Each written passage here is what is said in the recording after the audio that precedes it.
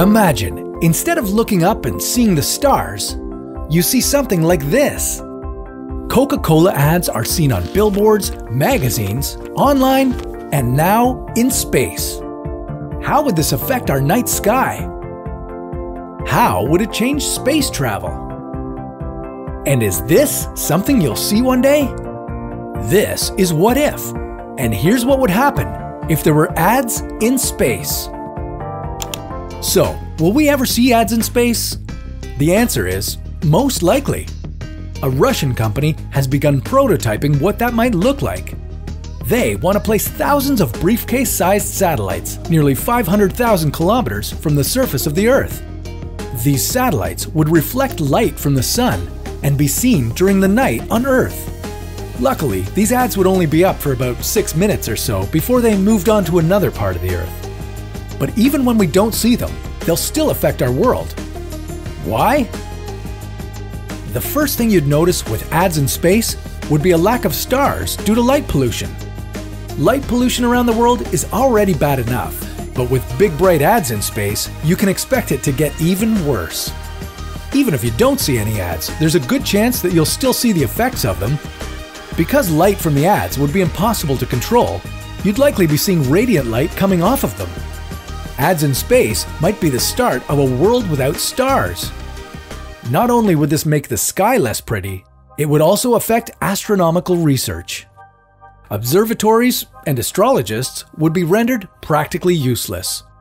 Without astronomy, it'd be challenging to learn anything new about space.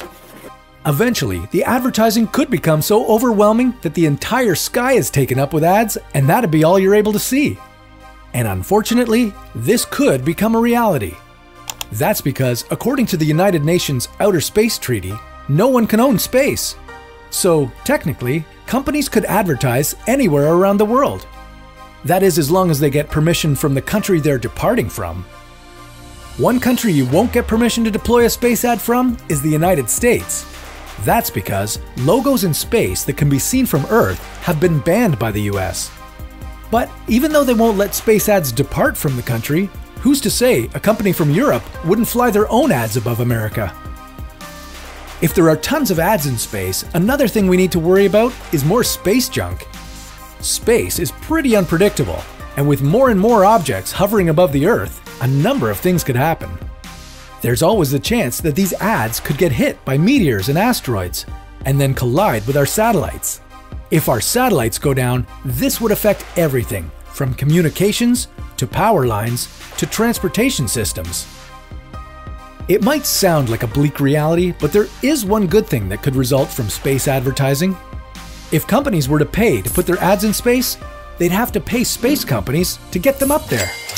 This could be a way of pumping money into space exploration, an already criminally underfunded industry. Hey, if a company is willing to spend millions of dollars for a 60 second commercial during the Super Bowl, Imagine how much they would pay to get their ad in space.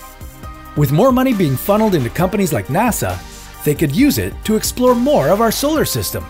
Maybe this would lead to us landing on and colonizing Mars. What happens after that?